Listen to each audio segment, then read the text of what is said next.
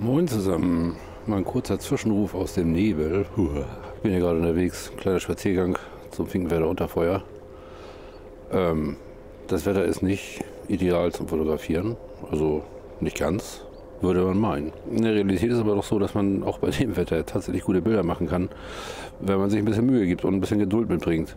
Das ist so, dass ähm, zumindest wenn ein bisschen Wind ist, ein kleines bisschen Wind, dann lichtet sich manchmal der Nebel und auf einmal tauchen dann so ganz schemenhaft die Schiffe aus dem Nebel auf.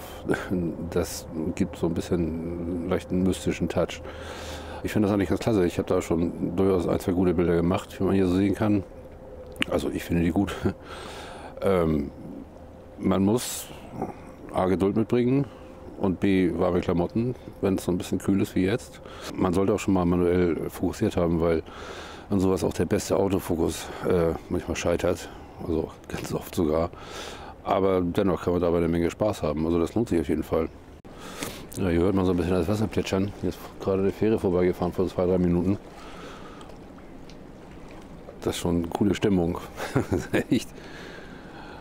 Wenn man bei solchen Wetterbedingungen Bilder machen will, ist natürlich gut, eine Stelle zu haben, wo die Schiffe relativ dicht unter Land fahren. Das ist hier auf der Elbe im Bereich Hamburg natürlich der Fall. Weil jetzt gerade hier an dieser Stelle, also Finkenwerder Unterfeuer, ist die Elbe so knapp 500 Meter breit.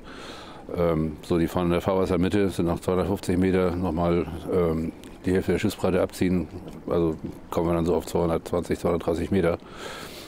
Ähm, und die Lotsenboote und so fahren dann sowieso noch ein bisschen dichter hier vorbei. Also, das geht. Man muss halt, wie gesagt, ein bisschen Geduld haben. Ja, hier hinter mir sieht man noch den anderen Balkon hier im Rüschpark. Der ist gar nicht so weit weg, aber auch nicht mehr so gut zu sehen. Naja, ist halt echt dicke Luft. So, da vorne sieht man jetzt gerade die Fähre vorbei rauschen Richtung Traubelsbrück.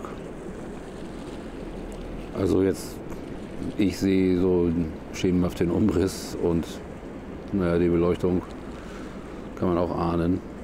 So, das war der kurze Zwischenruf aus dem Nebel. Vielleicht inspiriert das ja den einen oder anderen. Es lohnt sich wirklich, auch allein nur hier rumzustehen und zu lauschen und nichts zu sehen. Wo ihr gerade mal da seid. Da unten liegen übrigens kostenlos Abos zu mitnehmen. Für jeden nur eins. Ne? Ähm, vielen Dank fürs Zugucken. Ich sag mal so, in dem Sinne, voll dann voraus.